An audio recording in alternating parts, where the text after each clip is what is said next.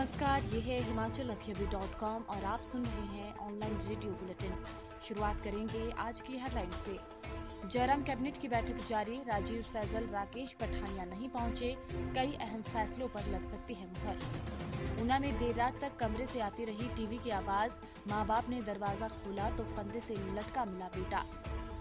हिमाचल में आज से बिगड़ा मौसम, ऊँची चोटियों पर बर्फबारी शुरू, अटल टनल सैलानियों के लिए बंद।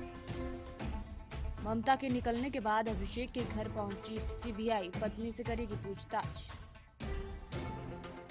चिन्मयानंद का एसएस कॉलेज एक बार फिर सुर्खियों में, हाईवे किनारे अधजली अवस्था में मिली छात्रा। कर्नाटक में जिलेटिन स्टिक धमाके से छह लोगों की मौत, सीएम ने दिए जाँच के आदेश। लाल किला हिंसा मामले में दो और गिरफ़्तार आरोपी मोहिंदर मनदीप को पुलिस ने जम्मू से दबोचा। अब समाचार विस्तार से।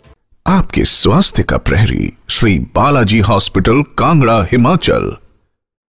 सीएम जयराम ठाकुर की अध्यक्षता में हिमाचल कैबिनेट की बैठक जारी है। बैठक में कई महत्वपूर्ण निर्णय लेने की उम्मीद की जा रही है। आपको बता दें कि बैठक में दो मंत्री आज अनुपस्थित हैं। बैठक में स्वास्थ्य मंत्री राजीव सैजल अनुपस्थित है। बताया जा रहा है कि स्वास्थ्य मंत्री दिल्ली गए हुए हैं। इसके अलावा वन एवं खेल मंत्री राकेश पठानिया भी बैठक में नदारद हैं। बता दें कि इस कैबिनेट बैठक में बजट सत्र में पेश होने वाले बिलों पर अंतिम मुहर लगाई जा सकती है। बैठक में राज्यपाल के अभिभाषण को लेकर भी चर्चा की जाएगी। वहीं आगामी नगर निगम चुनाव पार्टी चिन्ह पर करवाने के मुद्दे पर चर्चा की जा सकती है। नगर निगम चुनाव में पार्टी चिन्ह पर करवाने के लिए मंत्रिमंडल से मंजूरी मिलने के बाद एक्ट को मंजूरी के लिए विधानसभा के बजट सत्र में पेश किया जाएगा। कैबिनेट बैठक में हिमाचल में कोरोना वायरस की स्थिति को लेकर स्वास्थ्य विभाग की ओर से प्रस्तुति दी जाएगी। ऊना जिला में नौजवानों द्वारा आत्महत्या करने का सिलसिला थमने का नाम नहीं ले रहा है। बीते रोज जहाँ उपमंडल अंब में 19 वर्षीय युवती और 21 वर्षीय युवक ने आत्महत्या कर ली थी, वहीं आज ताज़ा मामला उपमंडल बंगाणा के जोसाना में सामने आया है। यहाँ पर 26 वर्षीय युवक ने फंदा लगाकर आत्महत्या कर ली। युवक की पहचान हसन ठाकुर उर्फ़ लकी पुत्र सूरम निवासी जसाना के रूप में की गई है। हसन ठाकुर उर्फ़ लकी अपने कमरे में था और टीवी ऑन कर लिया। देर रात तक टीवी की आवाज़ आने पर घर वालों ने दरवाज़ा खटखटाया। काफ़ी देर तक कोई जवाब नहीं मिलने पर ज़ोर से दरवाज़ा खोला गया तो लकी फंदे से झूल रहा था। सूचना मिलने के बाद पुलिस मौके पर पहुँची और शव को कब्जे में ले लिया। बताया जा रहा है कि युवक बेरोजगार था और मई महीने में उसकी शादी तय थी।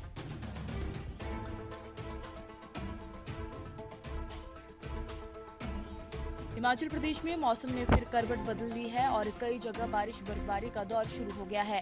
रोहतांग, दर्रे सहित ऊँची चोटियों में बीती रात से हल्की बर्फबारी शुरू हो गई है।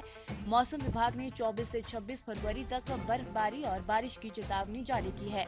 विभाग के पूर्वानुमान को देखते हुए कुल्लू प्रशासन ने अटल टनल सैलानियों के लिए बंद कर दी है। साथ ही पर्यटकों के लिए एडवाइजरी भी जारी की गई है।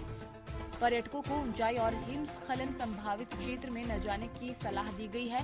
सोमवार को पर्यटकों को सोलंग नाला तक ही जाने की अनुमति दी गई थी, जबकि आज भी अटल टनल सैलानियों के लिए बंद रहेगी।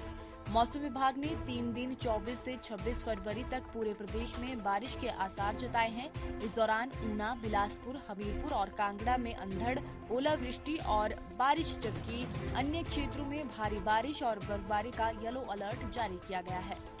शेष समाचार ब्रेक के बाद।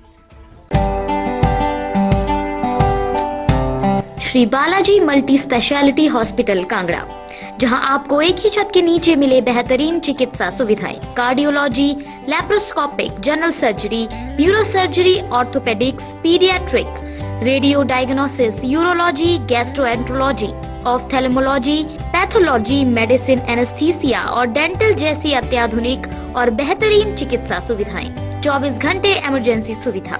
नौ बेड के साथ critical care unit cardiac monitor और डिफिब्रिलेटर्स सेंट्रल ऑक्सीजन लाइन और वेंटिलेटर सुविधा। हिमाचल प्रदेश के सबसे बड़े निजी स्वास्थ्य सेवा प्रदाताओं में से एक। Shri Balaji multi speciality hospital Kangra. राष्ट्रीय स्वास्थ्य बीमा योजना के साथ सूचीबद्ध Shri Balaji multi speciality hospital Kangra BPL परिवारों के लिए अस्पताल में कैशलेस भर्ती होने के साथ ही ईसीएच की भी सुविधा। हमारा पता, Shri Balaji multi speciality hospital, Balaji Vihar, Ujjain, Kangra. संपर्क करें नौ दो एक आठ चार एक एक एक शून्य आठ पर। Shri Balaji multi speciality hospital, Kangra.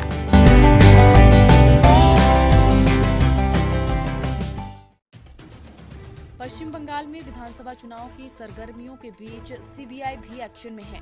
कोल स्मगलिंग में जाँच का दायरा बढ़ाते हुए पश्चिम बंगाल की मुख्यमंत्री ममता बनर्जी के परिवार तक पहुँच चुका है। ममता बनर्जी के भतीजे अभिषेक बनर्जी की पत्नी रुजीरा नरूला से सीबीआई आज पूछताछ करेगी। पूछताछ के लिए सीबीआई की टीम अभिषेक बनर्जी के घर पहुँची है। इससे पहले मुख्यमंत्री ममता बनर्जी, अभिषेक बनर्जी के घर पहुँची और बातचीत करने के बाद थोड़ी देर बाद निकल गई। जैसे ही ममता बनर्जी अभिषेक के घर से निकली, वैसे ही सीबीआई की टीम पहुँच गई। अभिषेक बनर्जी की पत्नी रुजीरा नरूला से सीबीआई पूछताछ करेगी। सूत्रों ने बताया कि पूछताछ के लिए रुजीरा नरूला सीबीआई के सामने पेश होंगी। उनसे गवाह के तौर पर पूछताछ की जानी है। उनसे जाँच एजेंसी के साथ इस छानबीन में सहयोग करने को कहा गया है।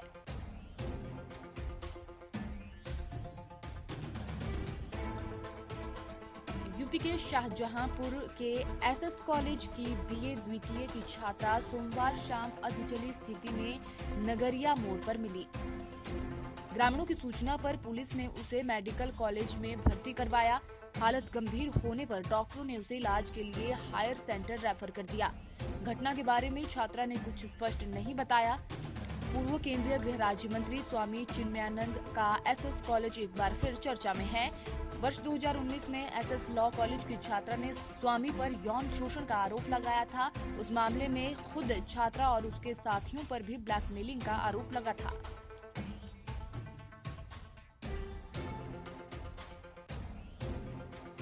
कर्नाटक के चिकबल्लापुर में एक बड़ी दुर्घटना में छह लोगों की मौत हो गई है। जिलेटिन स्टिक में धमाका होने की वजह से छह लोगों की मौत हो गई है और एक व्यक्ति घायल हुआ है। पुलिस की ओर से मिली जानकारी के मुताबिक कुछ लोगों ने यहाँ गैर कानूनी तरीके से जिलेटिन के स्टिक रखे हुए थे।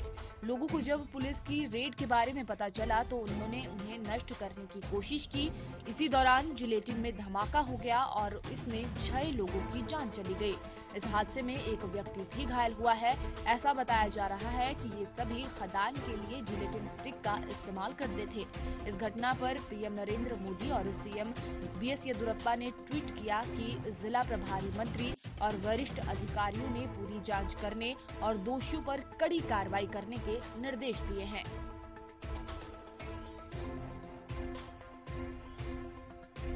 कृषि कानून के विरोध में निकली ट्रैक्टर रैली के दौरान 26 जनवरी के दिन लाल किला पर हुई हिंसा मामले में दिल्ली पुलिस ने जम्मू से दो आरोपियों, मोहिंदर सिंह और मनदीप सिंह को गिरफ़्तार किया है।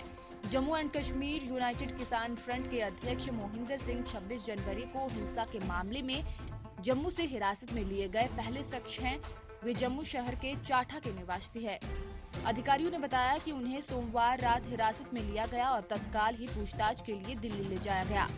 गौरतलब है कि केंद्र के तीन कृषि कानूनों के खिलाफ किसान दिल्ली की सीमाओं पर प्रदर्शन कर रहे हैं। 26 जनवरी के दिन किसानों की ट्रैक्टर परेड के दौरान हिंसा हुई थी और कुछ प्रदर्शनकारियों ने लाल किले पर धार्मिक झंडा भी लगा दिया था।